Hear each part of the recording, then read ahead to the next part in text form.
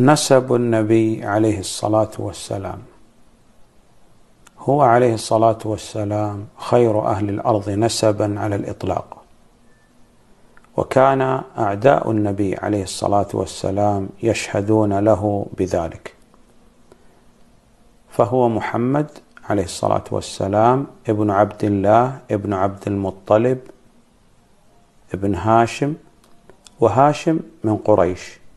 وقريش من العرب والعرب من ذرية إسماعيل ابن إبراهيم عليهما وعلى نبينا أفضل الصلاة والسلام.